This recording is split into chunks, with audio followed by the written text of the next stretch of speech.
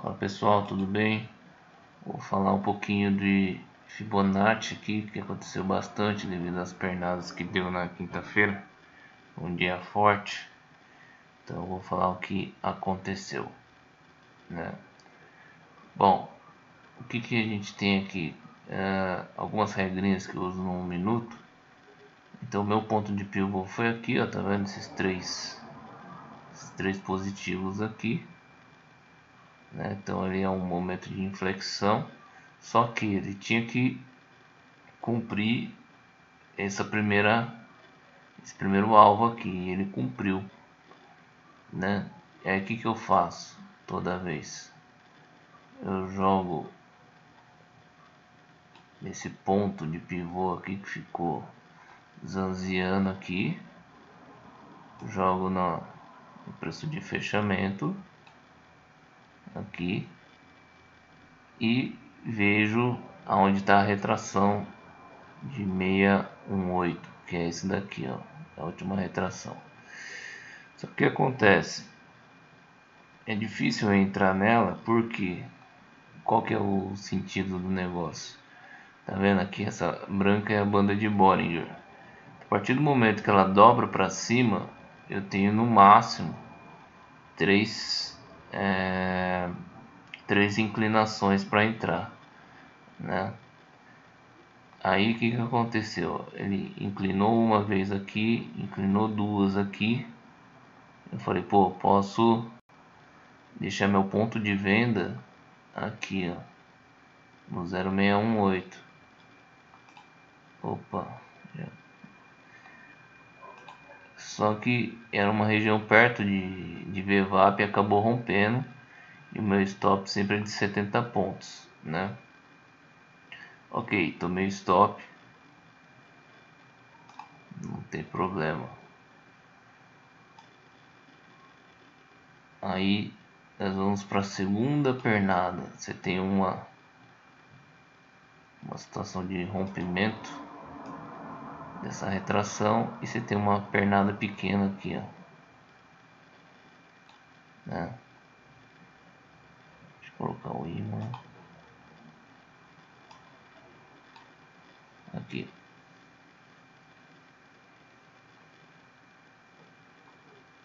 E aí, é, deixa eu tirar, é, é meio complicado ficar fazendo por causa do uma hora você tem que colocar imã Horas tem que tirar o imã de outro lado, porque eu pego o preço de fechamento, né? Aqui, ó, é a mesma situação da anterior. Então eu só posso pegar essa a faca caindo aqui se tiver no máximo três é, inclinações na banda de Bollinger, na última aqui, ó. E aí tinha mais, ó, um, dois, 3, 4, 5, 6. Então eu tinha uma tendência até, apesar de ter dado certo aqui, ó. Pegou 120 pontos para cima. Apesar de ter dado certo, mas acabei não entrando aqui, né? Devido a essa situação de banda de Bollinger. Aí vamos embora. Aqui eu tenho um ponto de inflexão. Ó. De novo. Então minha cabeça é aqui. Meu ponto de rompimento é aqui embaixo. E eu espero dar o alvo lá embaixo. Aqui não precisa nem marcar porque deu, né? Tudo isso aqui, ó, 400, 400. E foi indo, ele não, não fez nenhuma, nenhum repique, né? Que a gente pega aqui é tudo repique. Aí aqui, ó, você tem esse ponto de inflexão aqui. Você tem toda essa queda aqui embaixo.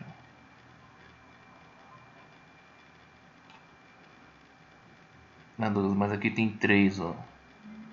Você não pegou daqui para baixo. Se eu pegasse daqui para baixo eu não teria nenhuma condição de ter atingido o primeiro alvo aqui, ó. Tá vendo? Meu alvo tá lá embaixo, ó. aqui ó. então eu não posso pegar e aí o que aconteceu? Isso daqui é a VVAP. Isso aqui é uma VVAP. Acho que é semanal. E aí o meu ponto de entrada de venda tá aqui ó, no 010. Né? Entrou certinho no 010 e tá vindo aqui fazer o repique. Ó. Aí você fala, pô, mas saiu aqui desse seu trade de no máximo é, três entortadas da, da banda de Bollinger, mas eu acabei entrando aqui que eu achei essa resistência aqui pertinente. Tem a média de 57 descendo e eu tenho a VWAP semanal. Então aqui vai acontecer alguma coisa e eu tenho uma retração de uma pernada, então é um ponto bom de inflexão. Né? O ruim da da banda de Bollinger entortada três vezes geralmente é quando você não tem é, nenhuma resistência ou suporte para para entrar te dando uma segurança maior tá ele repica quando a banda de Bollinger está entortada nessa envergadura ele repica, mas repica pouco, tá vendo? Não, não, repica muito. Não adianta você ter um alvo muito longo, pode ser uma situação de reversão e continuar indo para cima. Aí o que, que você pode fazer também? Você pô, já que entortou a banda de Bollinger, eu vou jogar essa projeção aqui na maior, no maior fechamento aqui, ó. Tá vendo? Você pega aqui, ó. Aqui eu já não entro. Não entrei, não tem nenhuma resistência, não tenho nenhum suporte aqui. Tá vendo? Apesar de ter dado certo, poderia vir para simetria aqui embaixo no 345. Né? Então eu nem eu não entrei aqui, apesar de ter dado certo essa retraçãozinha. Aí você vai, você vai fazendo as retrações, ó. Aqui em cima, ó, o fechamento foi aqui.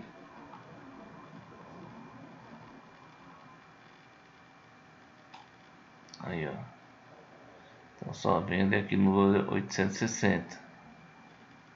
Tá vendo? Esse foi pancada. Né? A gente nunca sabe qual vai ser o tamanho da pernada, né? Mas fazer o que? Ok. Qual é o, entre aspas, ruim dessa pernada? Que não atingiu, apesar de ele ter sido grande aqui, ó. Ele não atingiu o primeiro alvo aqui, ó. Então é muito complicado eu querer pegar ele subindo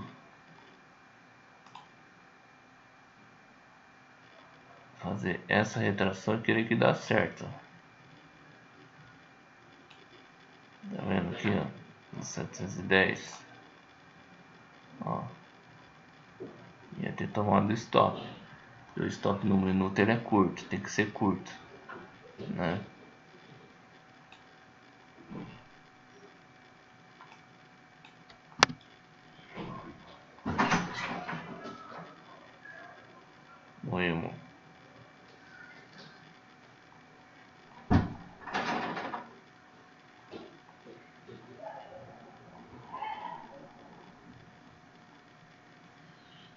mais o que aconteceu. Aqui é a mesma situação, não adianta nem eu traçar uma retração aqui em cima que ele não não vai ter muito parâmetro para entrada, né? É. Máximo que você pode concluir, ah, bateu aqui na, na média de 100 com a primeira retração aqui. Isso não, quer dizer nada. Depois ele veio cumprir a simetria aqui, ó. Então ele foi, nadou bastante aqui no, na VWAP semanal, ó. ficou 25 minutos. Depois veio, voltou de novo na retração, tentando furar aqui embaixo. Essa pernadona aqui, ó, porque você pode utilizar ela. Esse tem um movimento aqui de breakout, ó. Tá vendo? Ele atingiu todos os, os alvos aqui embaixo. Você pode utilizar essa pernada para alguma coisa, tá? Aqui, ó. Aí, ó, bateu aqui no 755. Você deixa vendo, stop de 70, alvo no mínimo de 100 pontos, né? Ou espera o primeiro fechamento vir para baixo e seu stop a partir do momento que o fechamento veio para baixo, seu stop vai para o zero e você pode tentar uma simetria total é, ou 200 pontos, enfim. Aí vai meio que de, de cada um. A simetria total é bem agressivo, né? Esse alvo. É, tem que tomar cuidado. Essa aqui é a banda de Bollinger de 1, né? Desvio de 1, né? Geralmente os preços ficam aqui na, dentro dessa banda desvio de 1. Né? O movimento corretivo do minuto ele fica muito aqui. Então eu utilizo para usar como suporte resistência sim. Para mim é uma referência aqui. Né? Então tá, tá vendo? Bateu aqui, ó. Você tá com 250 pontos na mão. Se você deixou seu ponto aqui no zero, você foi é, estopado, deu um stop gain de zero, né?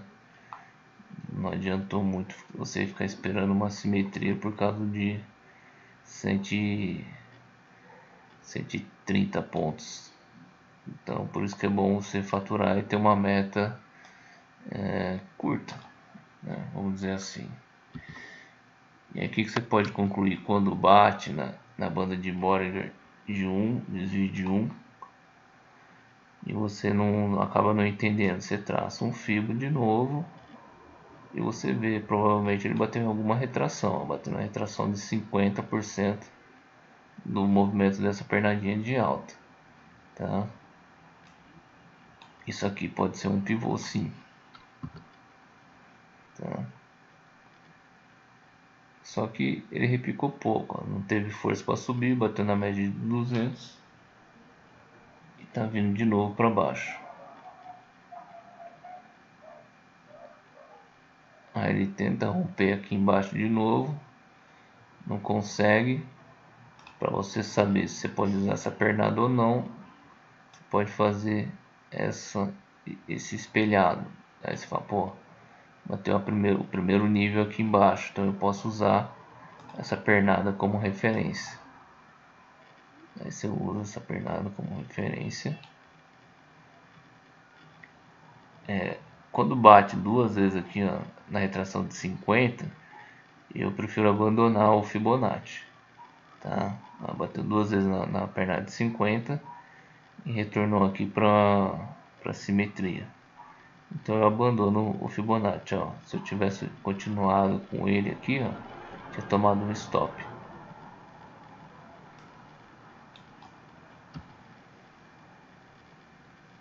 E agora você tem uma tendência pequena aqui de alta. Você tem esse pivô espelhado aqui, ó. cumpriu dois alvos. Você pode colocar ele aqui, ó.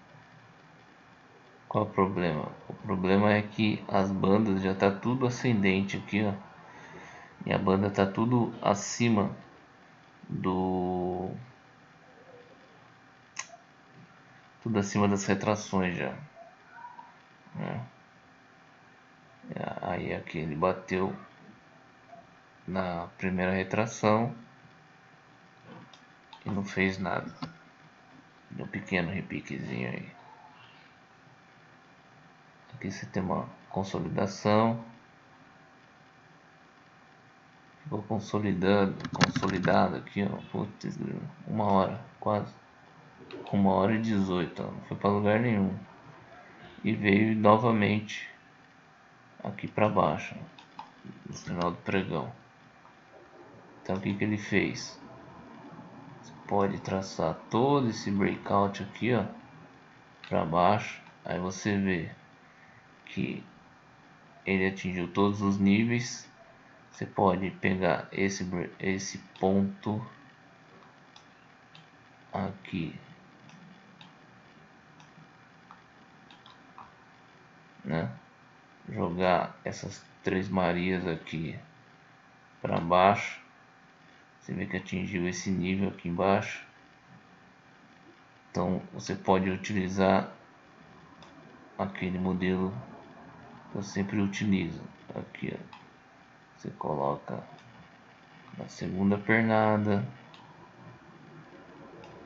no ponto de fechamento, e a sua venda é aqui ó, no 245 em um minuto Deu 100 pontinhos. Fácil, fácil, fácil. Né? Depois aconteceu a mesma coisa aqui, ó. Tá vendo?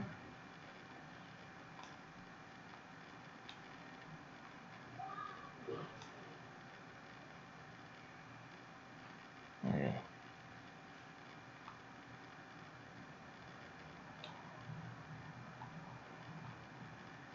Foi bem tímido aqui. Mas já era final de pregão também, as bandas já estavam começando a virar para cima, não, não foi bom. É isso que eu queria passar de Fibonacci para vocês. Valeu, um abraço.